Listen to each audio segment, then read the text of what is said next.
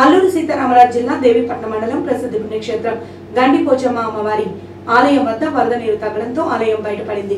గత నెల రోజులుగా వరద నీటిలో పూర్తి స్థాయిలో అమ్మవారి ఆలయం నీటిలోనే ఉంది.